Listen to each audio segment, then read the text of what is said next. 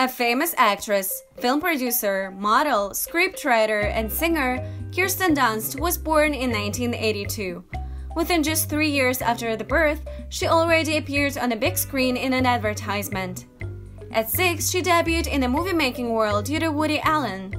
The first big success came to Dunst when she acted in a film called Interview with the Vampire, The Vampire Chronicles in 1994. However, one of her most commercially successful roles is still the one of Mary Jane in Spider Man. Nowadays, the talented actress is actively featured in movies of absolutely different genres. Additionally, she independently produced two short features, Bastard and Welcome. Kirsten's mother, Inez, was an artist, an owner of a gallery, and even a flight attendant. After the divorce with Klaus, the kids were raised by the mother mainly. According to talented Kirsten, her mother made sure she spent time in usual school activities as well as trips despite her growing popularity. Meanwhile, the father, Klaus, is mainly known as a parent of a famous Dunst. He's a former medical executive who did his best to maintain tight bond with the children even after the divorce. And looks like it worked because both kids are very close with dad. Kirsten's younger brother is named Christian. Unfortunately, there is almost no information about him as he prefers to live out of the limelight.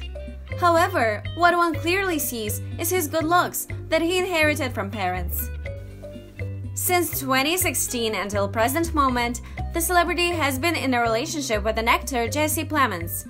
The two lovebirds met on the set of a movie Fargo, but the chemistry didn't spark immediately between the two. As per Plemons, he claimed he always admired how Dunst worked and it was a big gift for him to be featured with her. As a couple of months passed by, their friendship started growing into something more, and in 2017 they got engaged. In 2018, the couple welcomed their first baby, who they named Annis Howard.